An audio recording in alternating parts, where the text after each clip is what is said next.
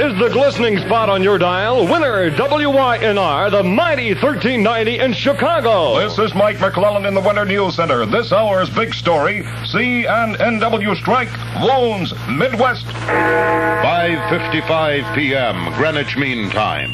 It is now 7.55 at night on Mount Kilimanjaro. And 12.55 in the afternoon in Chicago. The midday edition of WYNR News. Chicago, the three-day-old Chicago and Northwestern Railway strike is gripping hard at the Midwest's economy. Eleven Wisconsin paper mills say they will shut down soon if the strike is not settled by early next week. The mills have wired President Kennedy to step in and stop the strike. Iron ore and wood pulp is piling up in northern Michigan. Wheat is waiting up in the Dakotas. Negotiations are to resume in Chicago today between the carrier and the striking telegraphers union. But federal mediator Francis O'Neill says he doesn't know what time the two sides will get together, and he sees no signs of an early settlement. Cairo, Illinois. Things were quiet today in the racially troubled southern Illinois town of Cairo following the continuance of cases against 18 integration demonstrators. More than 100 Illinois state troopers yesterday stood guard during the courtroom appearance of the demonstrators on various charges ranging from breach of the peace to trespassing. 15 of the cases were continued and will be heard from September 10th to September 26th. No date was set for the other three cases.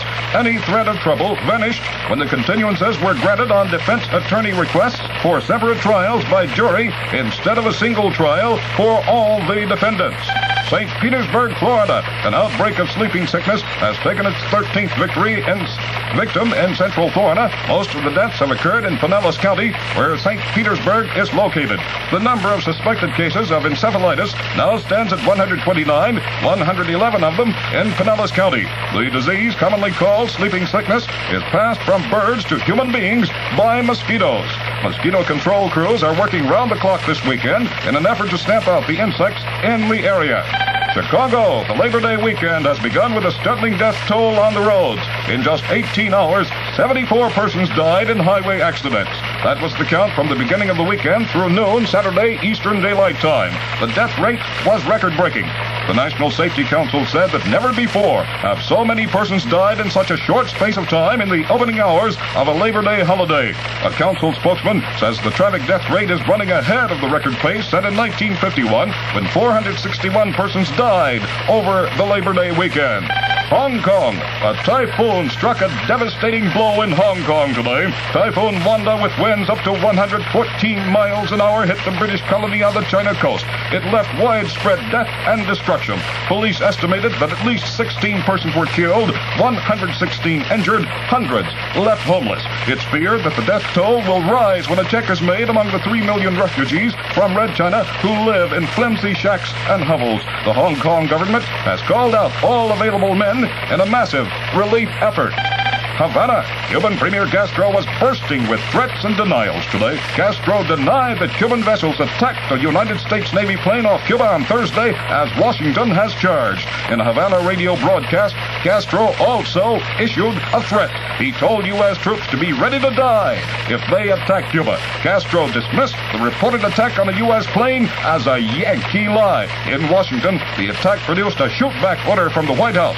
U.S. forces in the Caribbean were told to return fire if they are attacked again in international waters off Cuba. Washington, there is definite evidence a Russian space shot has failed. U.S. space scientists say they have tracked the fragments of a Russian rocket as orbiting the globe at a very low level. They say it's so low it could only be from a failure and speculate the Reds may have tried to beat the U.S. to the vicinity of Venus with a space probe. The government scientists report that one of the pieces of the space vehicle already has re-entered the Earth's atmosphere and disappeared. Prague. UN Secretary General Thant has met with Czechoslovakian President Novotny. They met at the palace in Prague today after Thant's arrival in the capital city last night for a two-day visit. You are listening to Winner News, where you are an ear witness to history. Chicago weather flash to WYNR from the United States Weather Bureau at O'Hare Field. Sunny but cooler and less humid this afternoon. Fair and cool tonight. Mostly sunny with little temperature change on Sunday. Current readings. Barometric pressure 29.40 and steady. Winds are from the east at 12 miles per hour. Relative humidity 56%. Predicted high today 80. Overnight low 63. Expected high tomorrow 83. Present and official temperature 74 degrees. Again, this hour's banner headline CNNW strike wounds Midwest. Mike McClellan speaking. You have just heard Winner news from WYNR Chicago. Now Here's more music on Winner. Here's the Dick Kemp Show.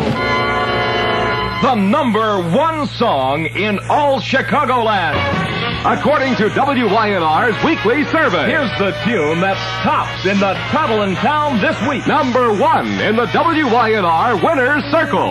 Okay, here we go, Chicago. The song number one, it's by The Four Seasons, and it's called Sherry. Get it, kittens, get it, cats.